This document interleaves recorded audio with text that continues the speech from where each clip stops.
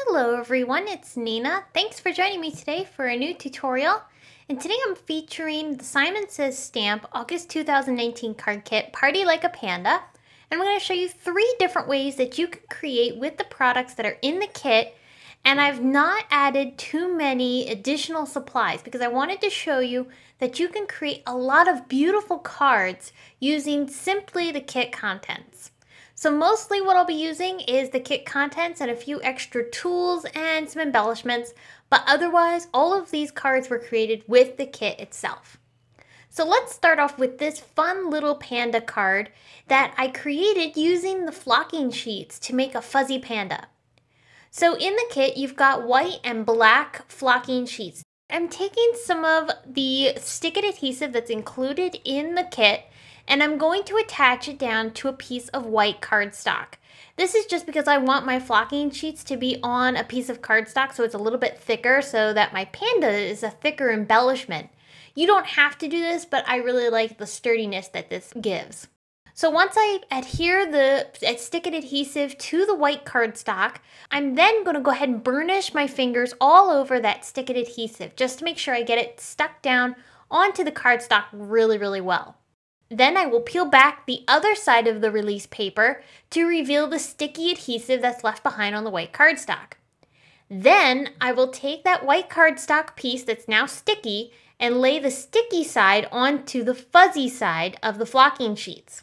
I'm going to go ahead and trim this down as well and then just run that piece through my die cut machine without any dies just to get that flocking transferred really well onto the adhesive. And then I'll just peel back that paper, and that reveals our fuzzy little flocking sheets.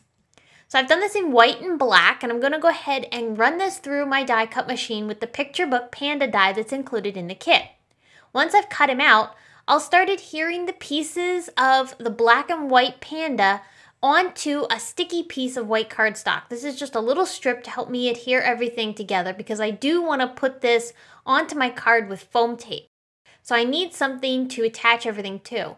But if you weren't going to use foam tape behind this bear, you could just stick those pieces that you've die cut right down onto your card. I'm fitting all those little negative pieces in there so I get this cute black and white panda. And then I'll start embellishing my card. So I've got a piece of the Doodlebug paper already on my A2 card. And I've already attached the panda down with some foam tape. I've colored some fun little embellishments, a balloon and a party hat, both from the Party Like a Panda stamp set. And I fussy cut those out and adhered them onto the card as well. Each of these, I added a layer of the Spectrum Noir clear overlay glitter for a little sparkle. And then for the final bit of embellishing, there's a few sentiments from the Party Like a Panda stamp set and some fun little star confetti pieces. The fuzzy panda looks so cute, cut from that picture book panda die. And I just love the bold, happy colors behind him. Alright, next up, I'm going to do some watercoloring. So I brought in a stamp from the Party Like a Panda stamp set. This is the very disappointed looking bear because he forgot somebody's birthday. So I want to color him because I just think he is so cute. His fun little deflated balloon and crushed present just make me laugh. So I decided I wanted to color him in a no-line style with some watercolor. So I'm bringing in some of my favorite Prima and Daniel Smith watercolors and I'm just coloring in this fun little panda. Now you don't have to use no-line coloring for this. You could of course stamp this with some black ink and do some outline coloring, whatever you want to do. I just want to give him some fun colors so I can put them onto my card. And I am using the Doodlebug pattern papers that are in the kit as a guide for which colors I'm using because I do want him to coordinate with those pattern papers. When I did stamp this, I used some fog gray ink from Simon Says Stamp. It gives everything a nice warm color and it's really easy to see when you're doing the no-line coloring. Now I did add some shading underneath the panda with some black just to give everything a ground to sit on. I'm also using some of that black for the white areas and I'm fading that out quite a bit just to give him a little bit of shading. I'm not going really crazy with the shading. I didn't want to get overly involved with this particular image because I thought the fun and simple coloring would really look nice with this and it would match well with the theme of the papers. But a little bit of shading here and there does give him a little bit of dimension and helps him have more of a lifelike look. Now the fun part was the background. So I brought in a lot of these fun colors that I already used to color in different portions of the image of the panda. And I'm just using a fairly dry brush to spread on some color and really create a fun, colorful background on this birthday card. I also added some splatters to add just a little bit of texture to this.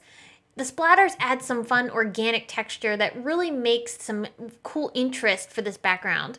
Just let the colors blend and have some hard edges, have some soft. All of that combines together to create this really cool and unique background. So once my coloring was finished, I am going to go ahead and trim this down this card isn't going to be perfectly square. It's going to be about three and three fourths by four and a quarter. And that's because I wanted to have some extra paper peeking out underneath the top and the bottom of my scene. So this pattern paper is from the kit and I'm just going to attach it down onto that card base. And then with some foam tape, I'll attach my scene. So for the scene, I'm going to have a little bit more of that paper peek out from the bottom than I am the top because I do want to add a sentiment along the bottom. So I'll pop this up onto the card base and then I'll bring in my sentiment, which I will put in along the bottom portion of the card, a little bit of at a wonky angle. And you'll notice I embellished the background of this card with some fun little sequins. Alright, for the final card, I wanted to do something a little bit different. I want to create a see-through window that's going to see through to the inside of the card. So using a Simon Says Stamp circle die, I'm going to go ahead and cut the front of my card. And here you can see we got this fun window going into the inside. On the inside of the card, I'm going to put a piece of that fun Doodlebug pattern paper to give a little bit of color and fun pattern on the inside. And I'll show you how we'll leave some space for a greeting later. Once I've attached the pattern paper down, I'm going to go ahead and work on a sentiment for the front of the card. I'm going to use these fun happy birthday greetings from the Party Like a Panda stamp set. I stamped them with embossing ink and then sprinkled on some white embossing powder for a great crisp greeting on top of this green cardstock. Next, I'm going to go ahead and pop this up onto the front of the card. I made this card slightly smaller than a regular A2 sized card. It's about three and three quarter inches by five. That's because I knew I wanted this speech bubble to hang off the side of the card and I wanted it to still fit into an A2 envelope. So the speech bubble is attached onto the front and then I put a second speech bubble on the back side just to clean things up. Here's where I'm going to have my greeting for the inside. This is going to be where I'm going to write my handwritten note.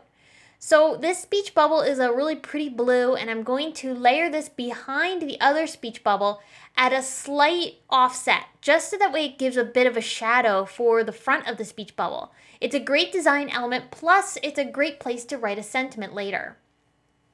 I added the panda bear on the inside, popped up with some foam tape. That way he's peeking through the, to the front of the card. There's a few other fun greetings from that Party Like a Panda stamp set, and I added a few fun stars to the front. I kept the front very simple because the inside of the card is so busy and has so many fun balloons, I didn't want the front to distract from that. So by keeping the front clean and simple, we've got this really cool see-through window card that you can open up and find another speech bubble where the bear can be wishing somebody a very happy birthday. Now I wanted to show you one more thing before I go, and this was how I created the fun envelope liners for the envelopes that I have for each of my cards. I had leftover pattern papers from the kit, and I wanted to use these to create some fun little envelope liners. So using the envelope liner die from Simon Says Stamp, I cut that from one of the papers, trimmed the piece in half just because I like to be able to adhere these down one at a time. It makes it easier for me. And I'll just put adhesive on each of the pieces that nest inside of the envelope. So the square piece nests inside the envelope itself, and I'll just butt that up against the edge of the envelope where the flap and the envelope body meet. Once I have that nested in there, I'll go ahead and smush it down so that way it adheres well. And then the more trapezoid looking flap, I'll go ahead and add that down by butting it up also against that edge where the two parts of the envelope meet. And I'll sandwich that down too.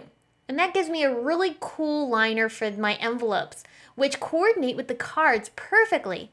And it's a very simple and easy way to decorate the envelope and make them a little bit more extra special. I hope that all of these cards have inspired you to create with this really awesome Party Like a Panda card kit from Simon Says Stamp. I had so much fun creating with this kit and I can't wait to use more of the products that are included in the kit to create some more fun cards.